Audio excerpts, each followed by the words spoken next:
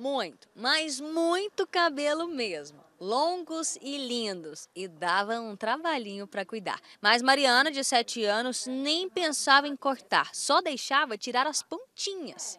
Porque eu achava é, o cabelo grande. Bonito.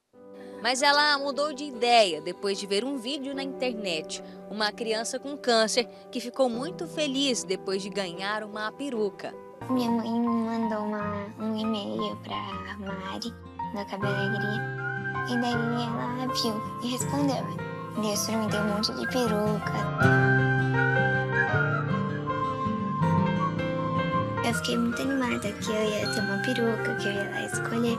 A minha mãe falou assim que ela ia me mostrar um vídeo, aí ela mostrou e aí eu, aí, aí eu, decidi, eu decidi cortar o cabelo.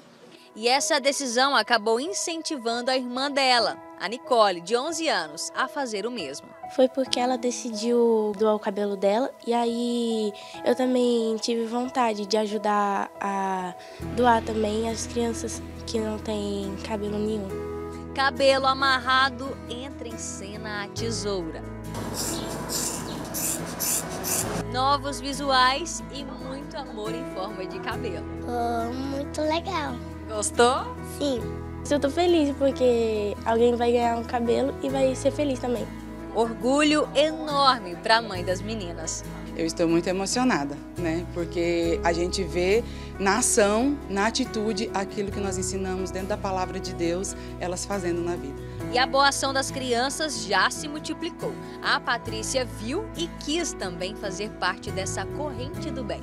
E agora, com a Graciele ter falado da boa ação das meninas, eu me comovi também com a boa ação e resolvi doar também.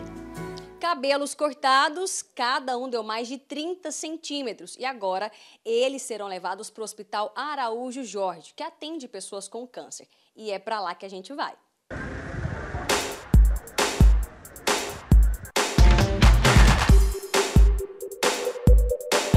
Cabelos entregues, missão cumprida. Dali, as madeixas seguem para um ateliê parceiro do Hospital Araújo Jorge e viram perucas, como essas.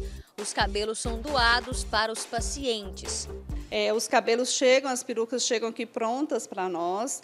E as, é, e as pacientes, tanto crianças como as mulheres, que é o nosso público maior hoje, né, o público-alvo, elas pegam essa peruca aqui com a gente, nós fazemos uma triagem e ela escolhe a peruca. Nós experimentamos essa peruca aqui com a paciente e ela escolhe a cor, tamanho, a forma do encaixe do cabelo. Se você também se sentiu motivado a fazer parte dessa campanha, é só levar o cabelo seco, com no mínimo 25 centímetros de comprimento, com ou sem química, até o hospital. Um gesto que transforma uma vida, por fora e por dentro. Tem algumas que chegam aqui com a autoestima baixíssima e sai com um olhar totalmente transformado. Tem muitas que saem assim, é, a gente passa aqui por várias emoções, porque elas choram mesmo, né? Porque realmente, para a gente que é mulher, é uma perca muito grande. Então, assim, é muito valioso ver o olhar de agradecimento de cada mulher, de cada paciente que vem aqui pegar essa peruca.